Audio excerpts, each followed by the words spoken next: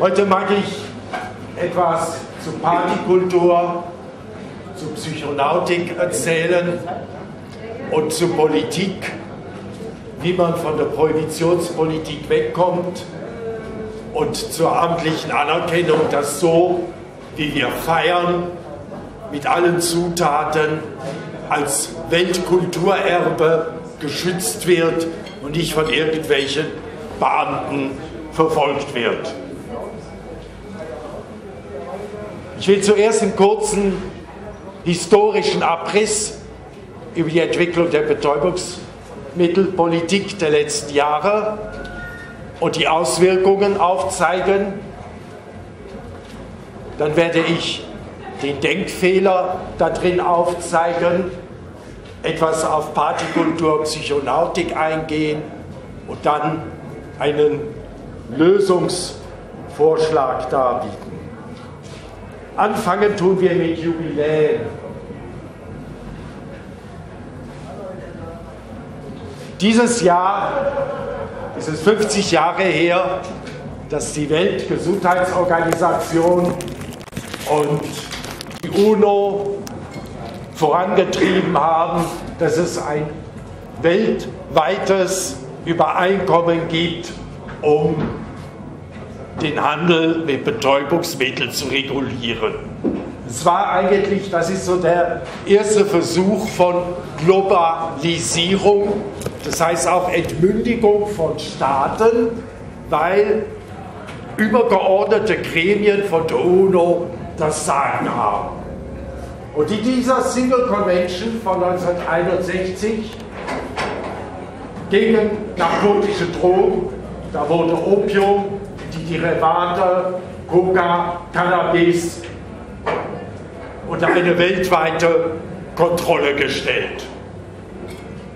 Das ist jetzt 50 Jahre her und es ist sehr erstaunlich, dass dieses Jubiläum, das die Basis der ganzen heutigen Drogenpolitik ist, von der UNO nicht gefeiert wurde und von den Organisationen, die daran arbeiten, nicht gefeiert wurden und dass in den Medien kaum etwas davon steht. Und das hat damit zu tun, die Politik, die man damals plante, diese Drogenpolitik, diese Substanzkontrolle, dieses Repressionsmodell, das hat versagt und die Verursacher und die, die für die Politik einstehen, die merken das auch. Darum wollen sie jetzt nicht im Rampenlicht der Öffentlichkeit stehen. Zehn Jahre später, 1971, wurde dann ein Zusatzprotokoll, das heißt die Konvention über psychotrope Substanzen, international beschlossen. Und der große Unterschied ist, in der Single Convention ging es nur um eigentlich suchterzeugende oder abhängigkeitsmachende Substanzen.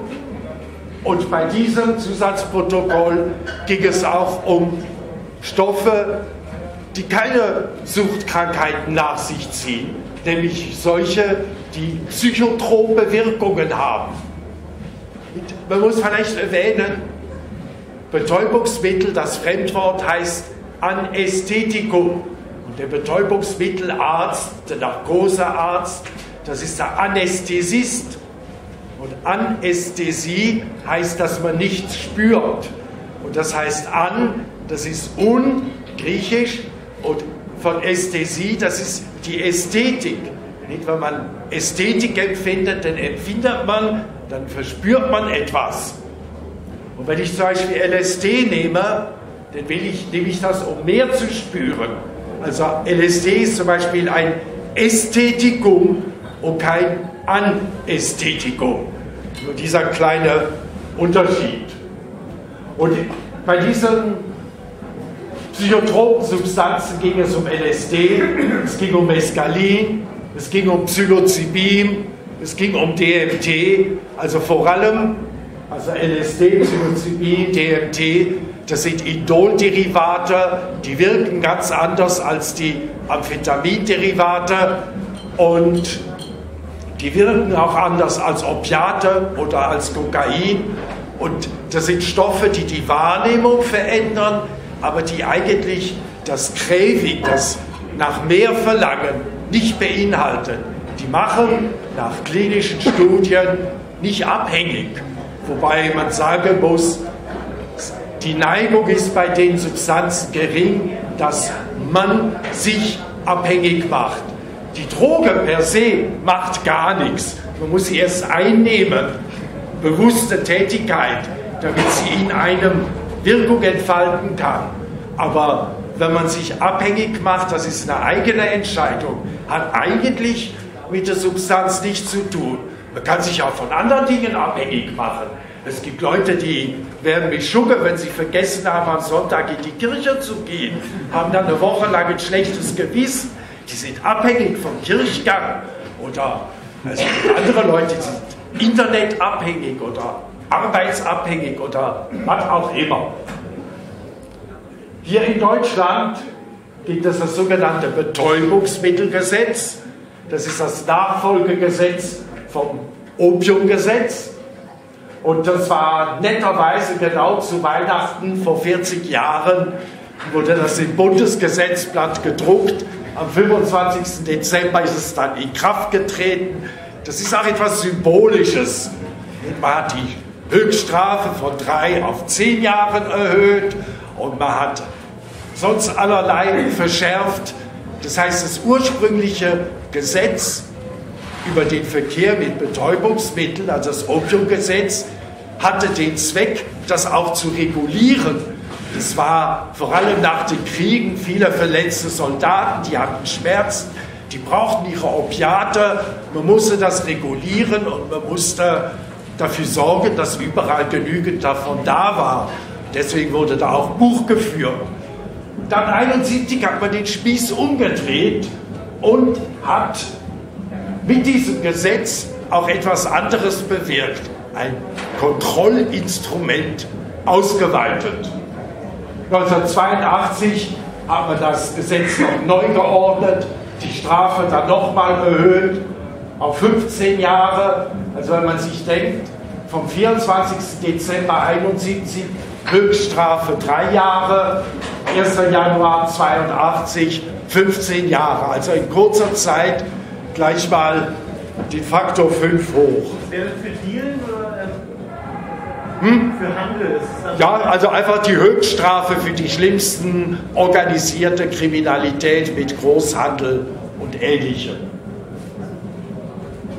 Hier haben wir mal eine Statistik die sogenannten Tatverdächtigen aus der polizeilichen Kriminalstatistik, Verstöße gegen das Opiumgesetz und gegen das Betäubungsmittelgesetz.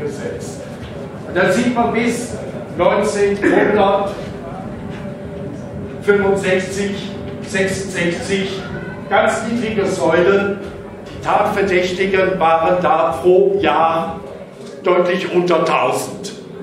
Das übrigens auch im Dritten Reich und auch in der Weimarer Republik gab es selten in einem Jahr mehr als 1000 Tatverdächtige wegen Verstoß gegen das Opiumgesetz. Das war juristisch gesehen ein Randbereich. Und dann kam 1967 die Studenten und die Hippies und Proteste gegen den Schah hier in Deutschland Benno Ohleson wurde in Berlin erschossen am 2. Juni 67. Da gab es Revolte an den Unis. Und da hat man gesagt, das sind die Kiffer, das sind die Hippies, wir müssen gegen Rauschgift vorgehen. Da kommt eine böse Rauschgiftwelle, die macht unsere ganze Kultur kaputt und wir müssen da eingreifen. Und bis 1972, 71 haben wir 23.000 Fälle. Das heißt, innerhalb weniger Jahre hat sich das vervielfacht. Um mehr als das 20-fache.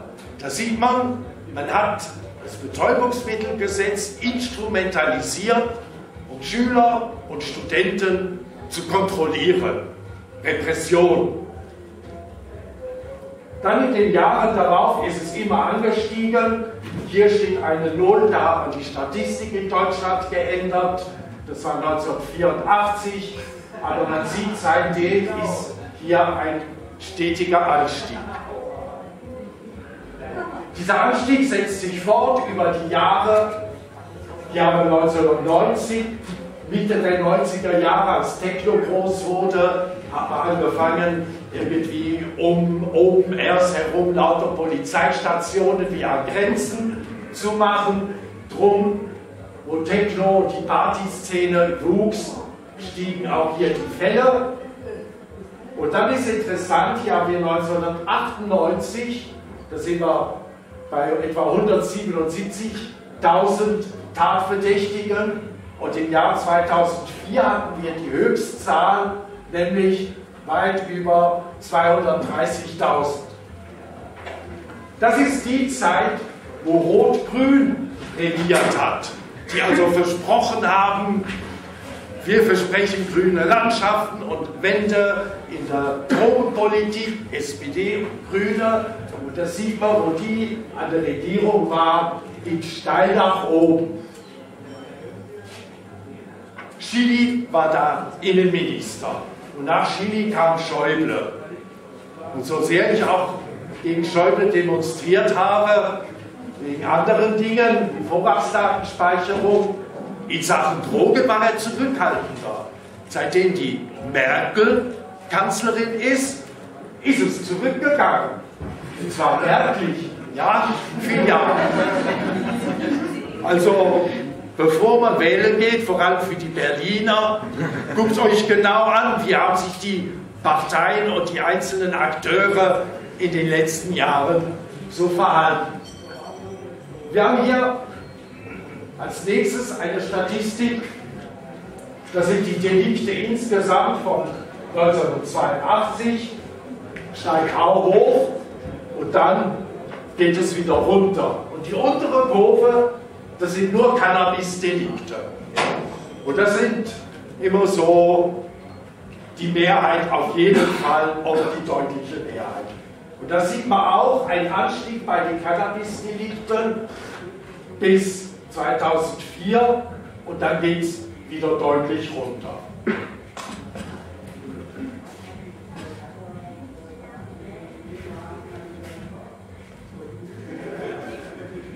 Das ist auch eine sehr interessante Geschichte, die sogenannten allgemeinen Verstöße. Allgemeine Verstöße sind konsumbezogene Delikte. Das heißt, wenn man etwas besitzt, eine kleine Menge, und die halt konsumieren will. Damit schädigt man keinen anderen. Das heißt, Fremdgefährdung ist nicht gegeben, wenn man selber ein Piece hat und das rauchen will. Darum heißt das in der Kriminalstatistik allgemeine Verstöße und das ist auch im Grunde genommen ein Verstoß, dass sowas strafbar ist gegen Artikel 4 der Menschenrechtserklärung von 1789 in Paris. Da heißt es, jeder Mensch hat das Recht, so zu genießen, wie er es für sich richtig hält, sein Leben zu genießen, solange er den Genuss anderer nicht beeinträchtigt. Ist also, wenn jemand für sich genießt, gefährdet er keine anderen und darum gibt es eigentlich auch keinen Grund, das in einem modernen Rechtsstaat zu verdienen. Jetzt erzählen die Politiker immer, ja, wir wollen ja eigentlich nur die bösen Händler haben, aber die Konsumenten interessieren uns nicht.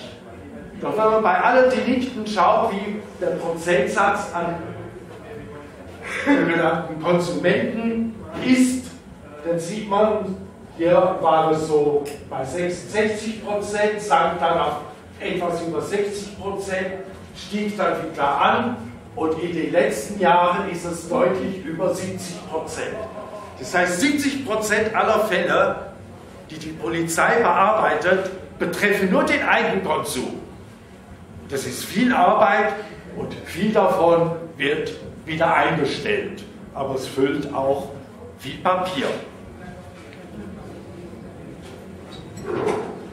Die Drogenbeauftragten der Bundesregierung erzählen auch gern, die Drogenkonsumenten werden immer jünger. Aber ich denke, das hängt auch damit zusammen, wie man hinschaut. Die untere blaue Kurve zeigt an, von 1966 bis 2010 der Prozentsatz, wie viel der polizeilich erwischten Leute waren unter 18 Jahre alt.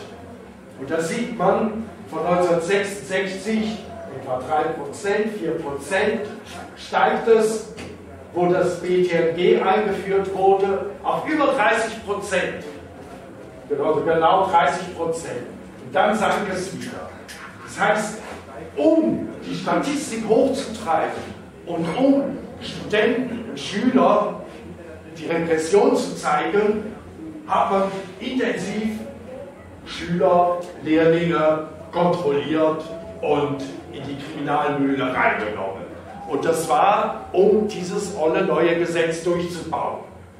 Die obere Kurve zeigt an, wie viel waren unter 21 Jahren junge Erwachsene von unter 10 auf knapp 70% Das heißt, als das neue Gesetz in Kraft gesetzt wurde, waren nur ungefähr 30% der erwischten Täter von der Polizei über 21 Jahre alt. Dann sank die Kurve wieder deutlich, hier auf etwa 5% der unter 18-Jährigen, hier etwa auf 25% der unter 21-Jährigen und dann stiegen sie wieder. Nicht ganz so stark, aber das ist auch wieder das typische Kontrollieren in den 90er Jahren rund um die Partys. Hätten die im Umfeld der Frankfurter Börse kontrolliert in den Cocktailbars, denn sie mehr Ältere gefunden, weil die groß. Aber die wollte man nicht stören. Gewirkt, bewirkt hat das gar nichts. Die Leute konsumieren, egal wie die Repression ist. Nur der Schaden fürs Volk und für die Allgemeinheit wird größer. Die Fehlannahme der UNO, als sie beschlossen hat, die Single Convention on Narcotic Drugs oder die Convention on Psychotropic Substances durchzupaukeln, war die Annahme, dass Leute, die psychotrop wirkende Substanzen, die also unsere Wahrnehmung verändern, die, wenn man die Welt anders sieht, aus verschiedenen Perspektiven, da ändert sich auch der Horizont, das Weltbild, es erweitert das Bewusstsein. Und das wollten die nicht. Haben gesagt, die Leute, die sind alle krank, die das machen wollen. Und darum macht das also die Weltgesundheitsorganisation. Und die Leute sind ja auch willensschwach und die sind ja auch kriminell und die sind krank.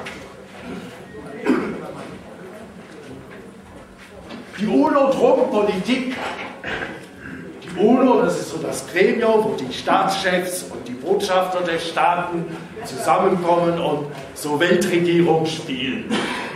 Und für die Gesundheit ist die Weltgesundheitsorganisation zuständig und für Drogen gibt es dann drei Einrichtungen. Den CND, Council Narcotic Drugs, ich erkläre die drei unteren nachher noch ein bisschen genauer. Der UN, UNODC, United Nations Office Drugs and Crime und INCB, International Narcotic Control Board. Also eine, ein Obergremium des CNT, dann eins für Drugs and Crime, Drogen und Kriminalität und das INCB, der ist für den legalen Transport für Opiate, die in der Medizin gebraucht werden. Nun hat aber die Weltgesundheitsorganisation in den letzten Jahrzehnten immer wieder mal Studien zurückgehalten, sei es über Cannabis, sei es über Kokain, weil in den Studien standen Dinge, das hat den Regierungschefs nicht gepasst. Und da haben sie gesagt, das darf nicht veröffentlicht werden. Die UNO hat auch die öffentliche Meinung manipuliert, Das heißt, sie hat nicht wissenschaftlich, sondern dogmatisch agiert. Und darum hat die Weltgesundheitsorganisation das Vertrauen in Sachen Drogenpolitik einfach verspielt. Das CND, die oberste Drogenbehörde in der UNO, das ist die sogenannte Suchtstoffkommission, Commission on Narcotic Drugs, die haben sich zum Beispiel bis zum Jahr 2008 geweigert, dass bei der Drogenverfolgung Menschenrechte beachtet werden müssen.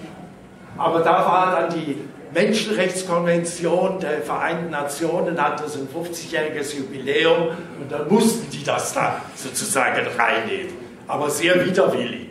Und die Protokolle der Sitzungen, die sind nicht die offiziellen, das ist alles mehr oder weniger geheim, aber bei vielen Sitzungen sind auch NGOs dabei, also Nichtregierungsorganisationen, und die veröffentlichen im Netz, was eigentlich da geredet wird. Also die UNO und ihr Gremium informieren selber viel weniger als die Nichtregierungsorganisationen, die dann die Öffentlichkeit informieren, wie die einzelnen Staatsvertreter da überhaupt etwas gesagt haben.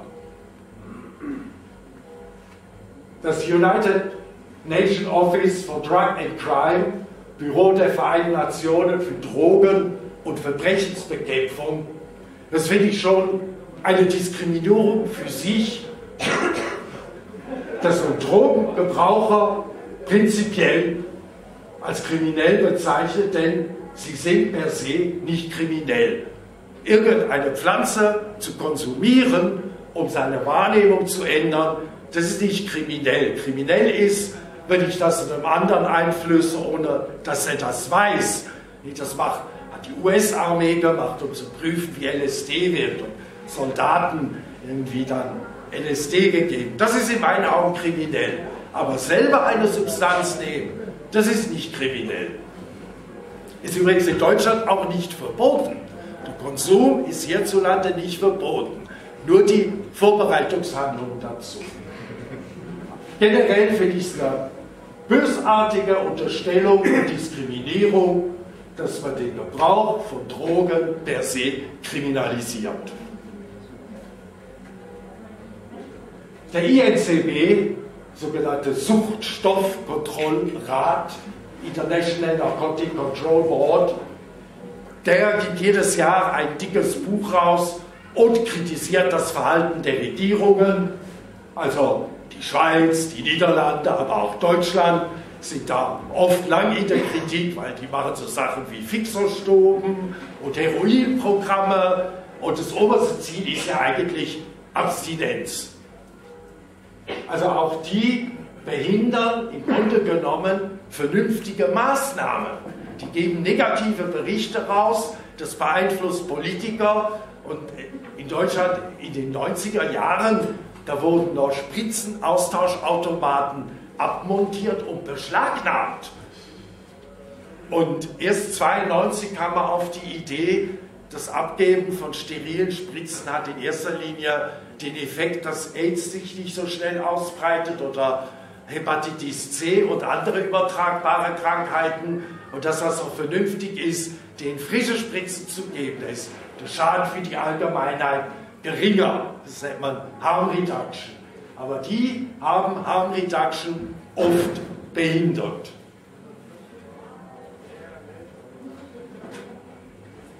In der Politik wird auch immer erzählt, die Drogen, die seien so unglaublich gefährlich. Und da war, dass also Alkohol gefährlich ist als Haschisch oder Gras, das weiß man seit 1890, 98 rum. Da waren die großen indischen Studien und da gab es immer wieder Studien, vor allem Alkohol und Haschisch und Alkohol und Marihuana. Und dann, die immer festgestellt haben, Gift ist für die Gesellschaft, für das Individuum weniger gefährlich, als wenn die Leute saufen. Aber die Politik hielt daran fest, Drogen sind schlimm und gefährlich und gehören verboten. Und dann war Professor Bernhard Rock Ende der 90er Jahre der für den Staatsminister in Frankreich für Gesundheit eine Studie gemacht hat über die Gefährlichkeit von Drogen. Und da kam auch raus, irgendwie, Cannabis ist weniger gefährlich als Alkohol. Und die Medien taten so, als wäre das alles völlig neu. Und dann 2010, ja bitte? Äh, beschäftigen sich denn manche der genannten Organisationen überhaupt mit dem Thema Alkohol? Nein. Also machen die Sachen für die Alkoholprävention, UNO, dass sie als Problem thematisieren, dass sich Zehntausende jedes Jahr zu Tode saufen oder im Straßenverkehr? Also in den internationalen Konventionen zur Drogenkontrolle ist Alkohol, ist Koffein oder ist Tabak nicht drin. Also davon wird nicht geredet. Jetzt hatten wir also in England Professor David Nutt, er war der höchste Regierungsberater der englischen Regierung. Und ist da eine Frage? Ich habe noch eine methodische Frage, die Gefährlichkeit von Drogen, nach was die bemessen wird. Das erkläre ich jetzt gerade wie David Nutt. Da steht ja David Nutt 2010. Und der hat also in einer 2007 in einer ersten Studie so eine Rangfolge rausgegeben. Die wurde zum Teil kritisiert, zum Teil hochgelobt. Der hat damit weitere Professoren eine Evaluierung gemacht und weitere Kriterien. Und es wurde gemessen anhand sozialer, anhand kognitiver, anhand der Befindlichkeit, anhand der Gesundheit, anhand der Kriminalität, also ganz verschiedene Kriterien zusammengestellt, wann bewirkt der Gebrauch einer psychotrop wirkenden Substanz einen Schaden für das Individuum oder für die Gesellschaft. Und da zeigt sich also, Alkohol kriegt 72 von maximal 100 Punkten. Also wenn man als sehr gefährlich 100 Punkte einsetzt und dann eine Skala und das alles schön gewichtet, dann ist also Alkohol auf Platz des Gefährlichsten, wo man dazu immer sagen muss, es hat auch damit zu tun, wie die Gesellschaft umgeht. Denn ich wiederhole, die Droge selbst tut ja eigentlich nichts. Es geht immer auch darauf an, wie man damit umgeht wie man sie konsumiert. Und das nennt man dann die Kultur dazu. Oder hat gesagt, Drug Set in Setting. Dass also eine Droge auch ungefährlich ist, hat nicht nur mit der Substanz, sondern eben auch mit, das, mit dem Set und Setting zu tun oder die Kultur, die mit der Droge weitergegeben wird irgendwie zeigt jetzt das zweite an, also ich habe die so einigermaßen im Kopf.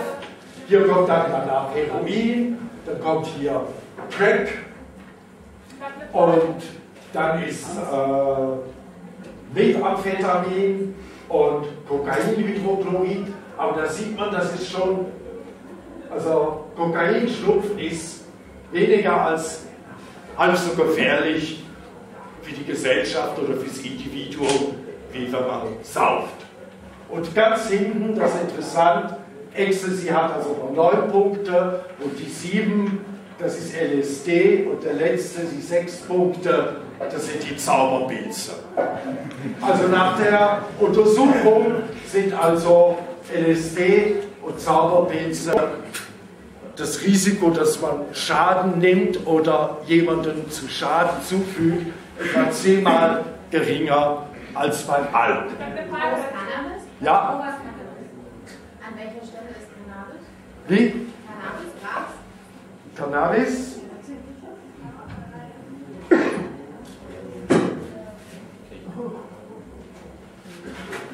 Und Kat kommt auch noch irgendwo dazu. Nee, nee, nee, nee, Cannabis ist also bei der, ich glaube, die, die 20 ist, glaube ich, Cannabis. In diesem Bereich, ja. Vor GHB. Also dreimal, dreimal weniger gefährlich zu kiffen als Alkohol. Wie kommt denn die Studie zusammen? Also ist das jetzt, äh, weißt du, wie äh, errechnet wurde, wenn man jetzt nur nach äh, Todesfällen damit provoziert, ist es klar, dass durch Alkohol mehr kommt, weil einfach viel mehr Leute Alkohol trinken, als es Bier zugenommen werden. Äh, ist jetzt, es ist immer in Relation zur Anzahl der Personen, die das auch nehmen und in Relation zum Schaden. Also der Lancet, das ist eine englische Zeitung für Naturwissenschaften, die haben ein achtseitiges Skript von der Studie online, die kann man sich gratis holen. Drogen, Genusskultur. Drogen nehmen ist in erster Linie ein Genuss. Man hört die Musik intensiver, man sieht die Farben intensiver, man hat andere Assoziationen, man kann ekstatischer tanzen, man kann besser ficken oder was auch immer. Drogen nimmt man vornehmlich entweder zum Genuss oder zur Bewusstseinserweiterung, zur Wahrnehmungsintensivierung und das ist ja auch wieder ein Genuss. Und für den Drogen, Kulturgenuss oder Drogengenusskultur braucht es Drogenmündigkeit. Man muss über Drogen etwas wissen und man muss lernen, damit umzugehen. Und das hat etwas mit Bildung oder man sagt auch Erziehung zu tun. Man muss auch wissen, wie Drogen wirken. Je mehr man darüber weiß, wissenschaftlich gesehen, umso eher ist man in der Lage, gewisse Kombinationen von Drogen auch zu analysieren, ob das gut kommt oder nicht gut kommt. Das ist eine Wissenschaft. Und dann Set and Setting, das ist der kulturelle Rahmen, in dem man die Drogen einnimmt. Die Rituale. Beim Champagner, Sektgläser und man stoßt an und lächelt sich zu und dann trinkt man die Schnäpse an andere Gläserformen und rutscht runter. So gibt es für verschiedene Gelegenheiten verschiedene Einnahmenformen. Und bei stark psychotropen Substanzen wie LSD oder wie Zauberpilze, da spielt Set und Setting.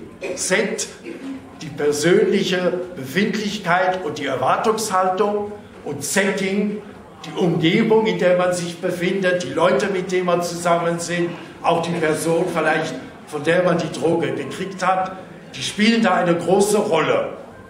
Und Drogenrituale, diese Rituale, die müssen weitergegeben werden können. Und zurzeit kann man das nur in der Illegalität. Ein Lehrer oder ein Professor kann nicht mit den Schülern praktische Übungen machen in Psychologik.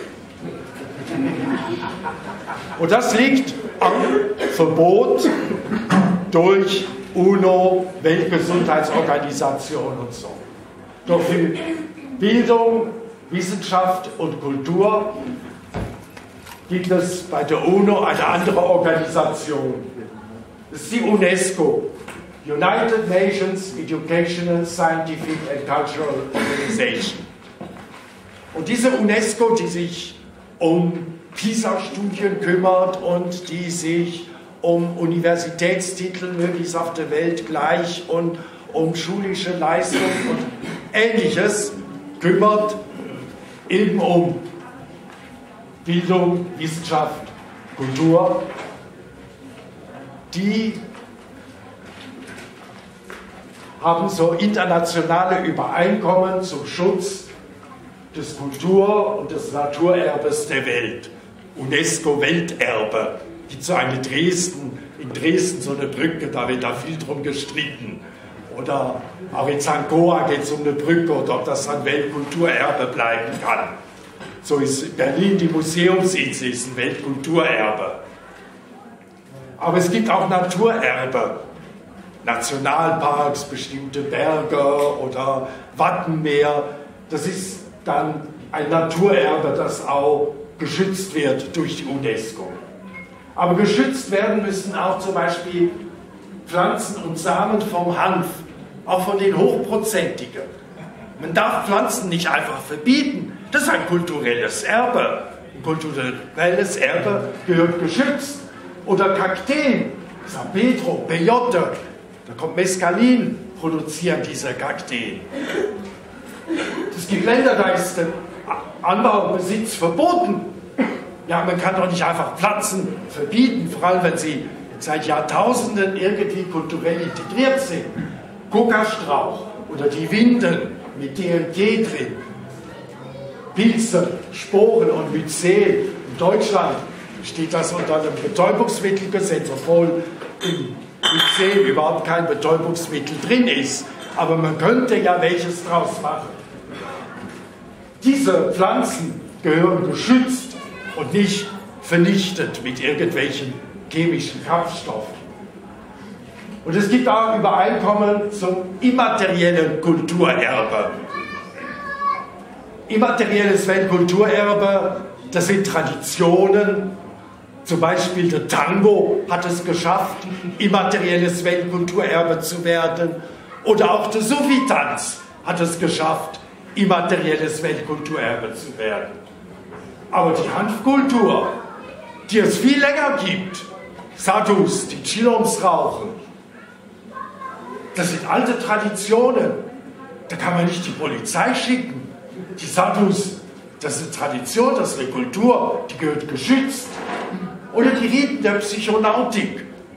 Ayahuasca in Südamerika oder die Mescalinpfade.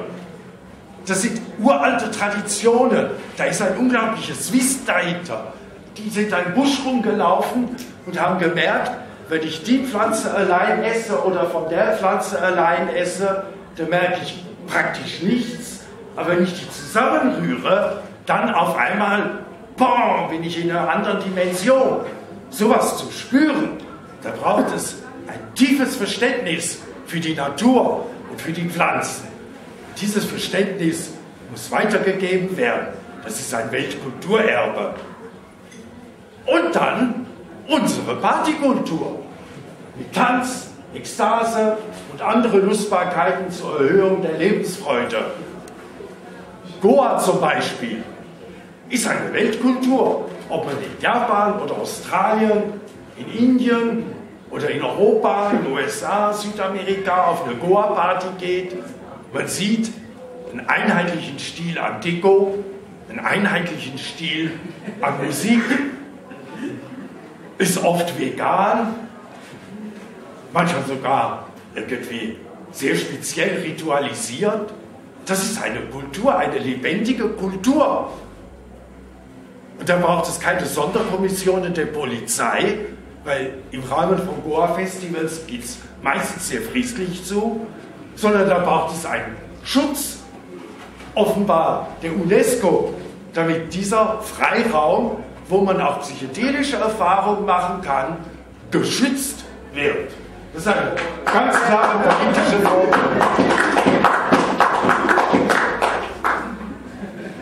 Man redet so viel vom War on Drugs. Das habe ich in Amsterdam an der Brücke mal gelesen, schon viele Jahre her. Die Antwort auf den War on Drugs, make drugs not war. Die Hippies haben gesagt, make love not war. Das ist wirklich the war on drugs, der zerstört Gesellschaften. Sieht man in Mexiko zurzeit. Aber wenn man kultiviert, Drogen zusammennimmt, dann wachsen Menschen zusammen, weil sie erleben gemeinsame, außergewöhnliche Bewusstseinszustände. Das verbindet, das ist sozialisierend. Ja, bitte?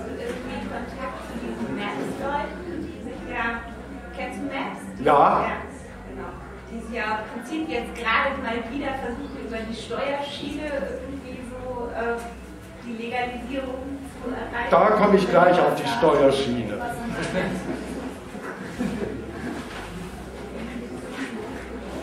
Drogen machen abhängig. Es gab früher mal eine Kampagne mit Keine Macht den Drogen. Das war pädagogisch den größten Blödsinn, den man machen kann. Du bist nicht verantwortlich. Die bösen Drogen sind verantwortlich. Nee, das so wie die Astrologiegläubige. Oh, mein Mars und mein Uranus, die stehen im Quadrat und der Saturn noch in, genau in der Winkelhalbierenden. Oh, da darf ich nicht auf die Straße gehen. Ja, das sind die Sterne verantwortlich, nicht mehr man selbst. Und das Abschieben von Verantwortung, das ist schon, das ist schon, das ist Schuld. Das ist pädagogisch das Dümmste. Wir, so wie wir sind, wir sind ein Teil dieses Universums.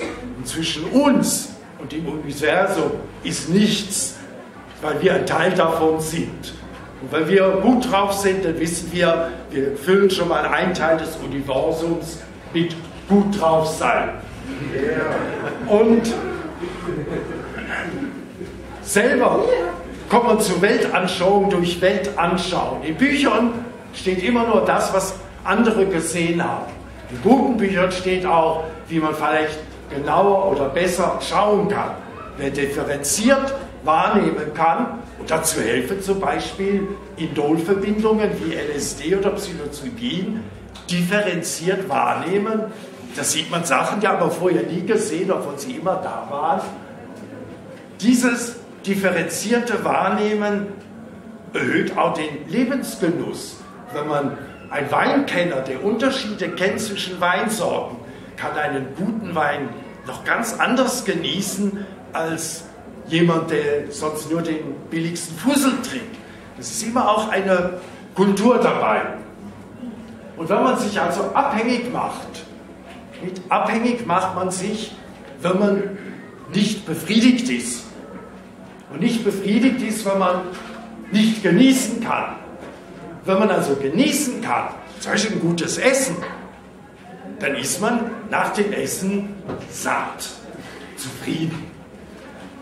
Und wenn man eine Droge genießen kann, also weiter vor der Einnahme der Droge so viel darüber erfahren hat und Set und Setting so stimmen, dass es wirklich ein Genuss ist, dann ist die Gier danach noch was zu nehmen, bei weitem nicht so groß, wie wenn man vielleicht eine Broschüre von irgendeiner Drogenberatung den Ratschlag befolgt hat, nimm nur eine halbe Pille und dann sind die Freunde, die eine ganze genommen haben, alles super drauf und man selbst ist in so einem ollen Schwebe-Zwischenzustand. Das heißt, selber die halbe Pille genommen hat, kann vielleicht eine Initialerfahrung machen, ich brauche mehr. Weil die anderen waren ja alle gut drauf, aber bei mir und die zweite halbe, das hat dann auch nicht gewirkt. Das heißt, weniger nehmen ist nicht unbedingt besser, sondern die richtige Dosis nehmen. Darauf kommt es an. Und wenn man genießen kann, dann ist die Gefahr recht gering, dass man sich abhängig macht. Und dann ist noch ein ganz wesentlicher Punkt, das Gegenteil von Drogenabhängigkeit ist nicht Abstinenz, wie uns die Drogenbeauftragten immer wieder erzählen, andere, sondern Drogenautonomie, selbstbestimmt. Nicht autonom, das ist so in der Springerpresse negativ besetzt. Autonom ist für mich sehr positiv besetzt. Selbstbestimmt, nicht fremdbestimmt, nicht heteronom. Und die Betäubungsmittelpolitik macht heute eine Fremdbestimmung. Aber wenn jemand mündig entscheidet, gerade in so essentielle Fragen über Wahrnehmungsveränderung, über die eigene Befindlichkeit, diese Entscheidung muss man selber treffen können und darf man nicht den Aktionären von ein paar Pharmakonzernen überlassen. Nicht die Drogen sind das Problem, sondern die Art, wie wir sie einnehmen. Es geht also immer auch Set und Setting. Die Rahmenbedingungen müssen stimmen und man muss selber auch offen und bereit sein.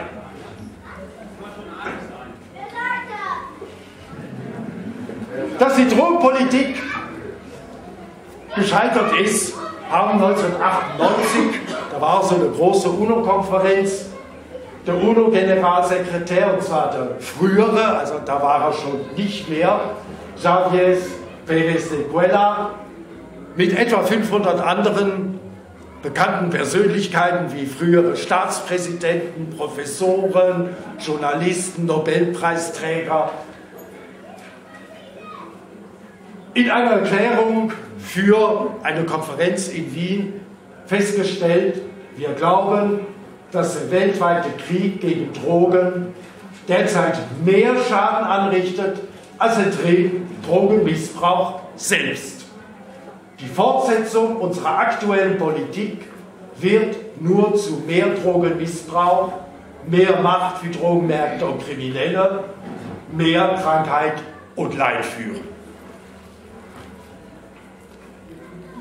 Im Juli 2011 ist der nächste frühere UNO-Generalsekretär zur Erkenntnis gekommen, die Drogenpolitik, das ist der falsche Weg. UNO-Ex-Generalsekretär Kofi Annan mit einer 19-köpfigen Kommission, auch wieder mehrere frühere Staatspräsidenten und unter anderem die frühere Drogenbeauftragte in Deutschland, die Marion Kaspers-Merck. Man erinnert sich vielleicht, in der Szene hieß sie das Kasperle merkt nichts. Die ist lernfähig gewesen. Wenn man guckt, was sie damals so alles erzählte, heute gibt ihren Namen her und sagt, stoppt die Prohibitionspolitik. Nicht? End the criminalization. Hört auf mit der Kriminalisierung, Marginalisation, mit der Ausgrenzung, Stigmatization, mit der Stigmatisierung von Leuten, Drogengenusskultur, das Wort Drogengenuss oder das Umgekehrte, Genuss, Drogen, Genusskultur, Kulturgenuss, Drogenkultur, das sind Worte, mit denen kann man spielen.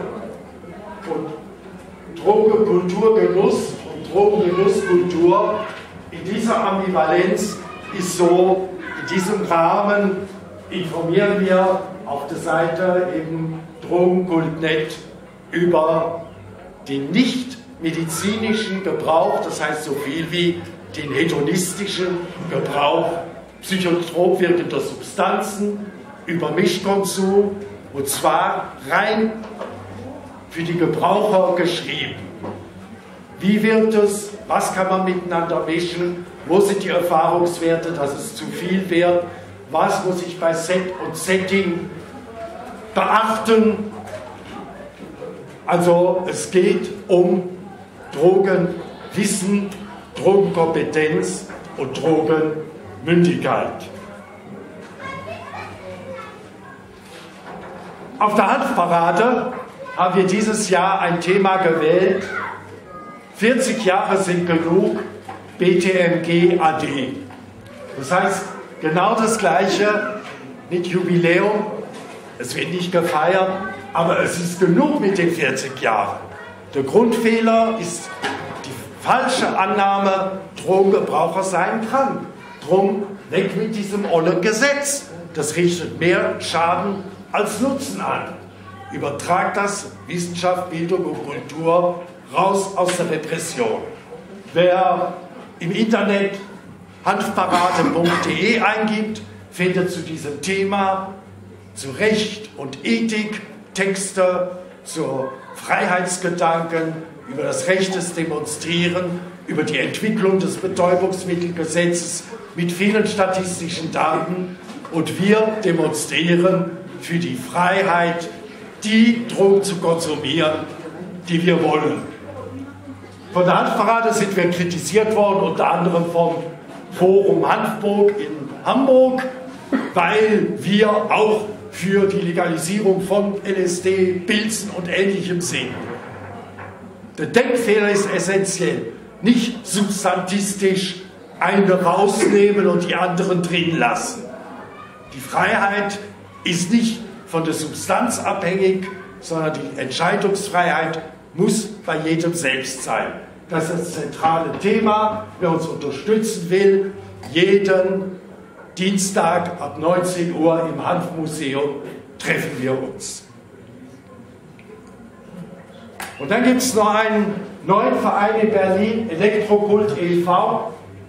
Und in der Satzung da drin heißt es, Paragraph 2 Buchstabe I, Unterstützung, Förderung und Durchsetzung der elektronischen Musik- und Lebenskultur zur Aufnahme als immaterielles Weltkulturerbe bei der UNESCO.